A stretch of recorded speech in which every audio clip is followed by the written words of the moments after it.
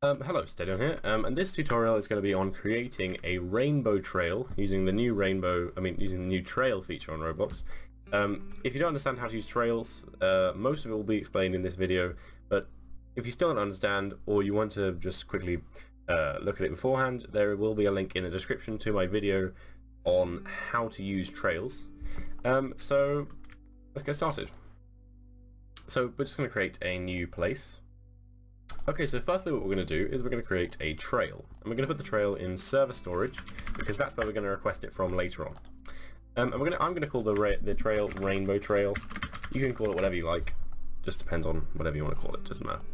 Um, now in here we are going to make the light emission 1 which gives it a sort of neon effect as you saw before there's light coming out of the uh, the trail I can just quickly show you that again actually um, it's very like sort of bright vibrant trail right and that's because of the uh, high amount of light.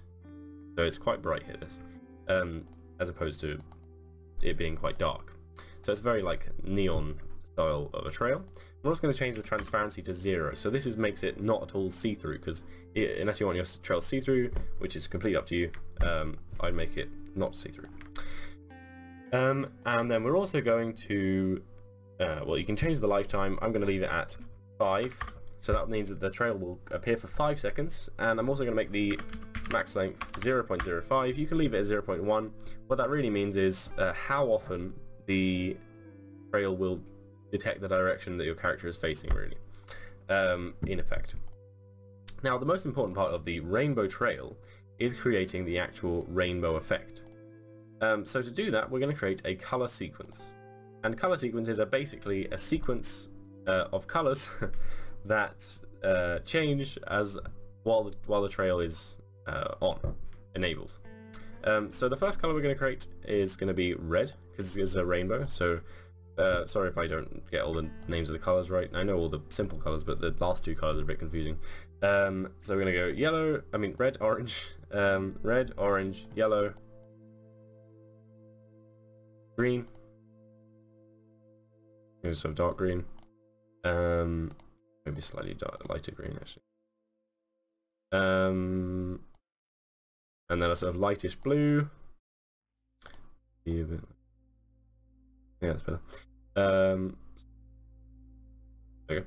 Um, and then a darker blue. I'm sorry if I'm messing up the names of these. Um, and then we're going to have a sort of purplish colour.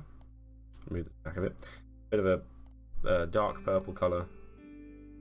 So, alright. And then lastly, we're going to have a sort of lightish purple colour. So very similar to the last colour we had, um, but a bit uh, lighter. Then we're going to put a bit there. Yep, that's about right. Okay, so we've now got our rainbow, mostly here. Um, and that means that, I'm just going to move these along a bit so it's a bit more even, the spacing between these, um, because I think a bit off not really equal between them. Quickly move these along a bit. There we go. Okay. So we now got our rainbow trail mostly done. Um, and we can't actually test this yet, and I'm going to show you why in a second. So to test this, what we're going to want to do is we're going to want to create a script in ServerScript service, which will put the, the trail into the player every single time uh, the, a player spawns. So the first thing we're going to do is we're going to define the trail. So the trail is game server storage trail.